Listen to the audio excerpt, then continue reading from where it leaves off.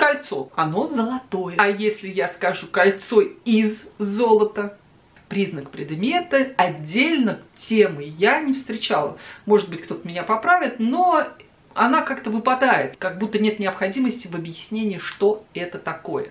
Сегодня поговорим об определении у детей и у 90% взрослых определение равно прилагательное. Прилагательное равно определение. Но на самом деле определение это то, что нужно вот это вот волнистой линии подчеркнуть, и то, что отвечает на вопрос какой, какая, какие, вот на все вот эти вот вопросы, это признак предмета.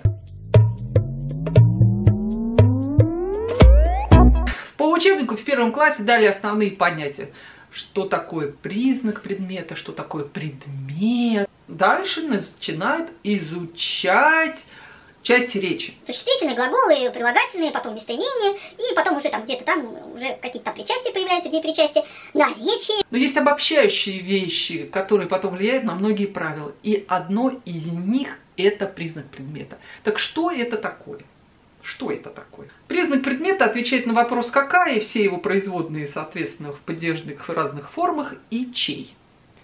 Признаком предмета могут быть несколько частей речи. Проще всего с прилагательным. Какой, какая, какие. То есть признак предмета здесь вот прям очень легко определяется, и никто в этом не путается. И мы его подчеркиваем волнистой линией, потому что предложение – это определение.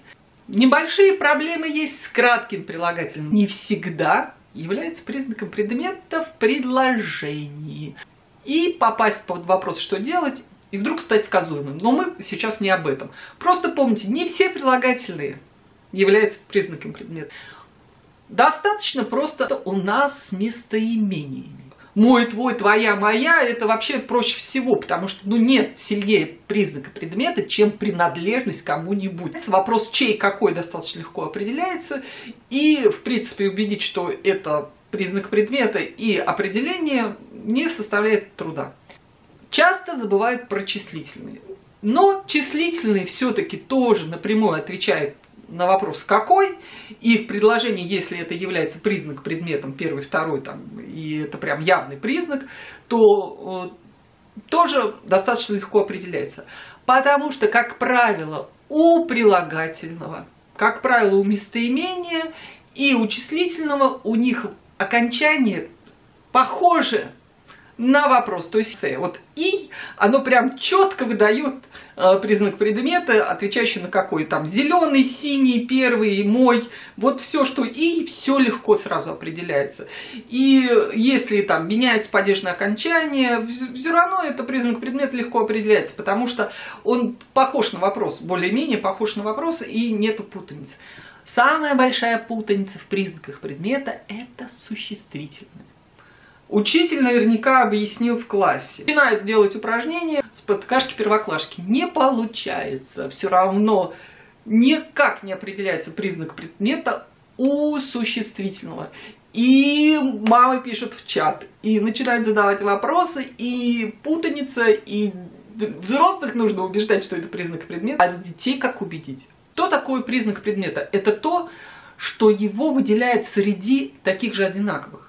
То есть его точный признак. Когда ты начинаешь описывать этот предмет, то ты описываешь его через признаки. Ты определяешь, какой он, поэтому это определение. Вот кольцо. Оно золотое. А если я скажу кольцо из золота, на какой вопрос отвечает? Тоже на вопрос. Какое из золота? И золотое, и золото – это же одно и то же. Это же такое же понятие, это же признак предмета. Это то различие, которое может отличить одно кольцо от другого. Оно может быть с камнем, оно может быть с гравировкой. И все это признак предмета. И в предложении будет подчеркиваться как определение. В учебнике было упражнение «стул э, с резными ножками» или с узором неважно. Но с чем уже не задашь вопрос. А именно стул какой? С узорами. И нужно подчеркивать, как определение. Исправил учитель, показала правила, что в табличке это бывает существительное, все равно не убедил. Через какое-то время опять попадает подобное же упражнение, где нужно существительно определить как признак предмета, опять спотыкается. Еще раз объяснила. Вот посмотри, идет девушка, опиши ее. Она в шляпке, она с собачкой, она с сумкой. Это все предметы вокруг это все существительные вокруг нее. Но ты объяснил признаки. Если ты будешь описывать любого человека, то ты будешь его описывать, его признаки через существительное. Нос с горбинкой. Лицо может быть со шрамом. Есть вещи, которые мы говорим, но не понимаем, что мы определяем признаки. Например, букет. Букет роз, букет ромашек. Букет какой? Это тоже его признак. Две рекомендации. Первая рекомендация. Когда вы ищете члены предложения, никогда не задавайте вопрос с предлогом. Это вам поможет определить любой член предложения. Это вам поможет не путаться в определении, потому что если вы начнете задавать вопрос с такого же предлога, который стоит перед этим существительным, то есть, но с чем? а не нос какой, то это гарантия того, что можно запутаться. А если вы будете искать вопрос без предлога, то вы не запутаетесь. Это помогает определить не только признак предмета, но и различить дополнение и обстоятельства. Потому что именно вопросы с предлогом запутывают. Исключайте вопросы с предлогами, когда вы ищете члены предложения. Предлоги нужны. И внушите это ребенку для того, чтобы определять правильно падеж и правильно склонять. Предлоги, чтобы склонять, без предлогов определяем члены предложения. И второе, ведите игру какой.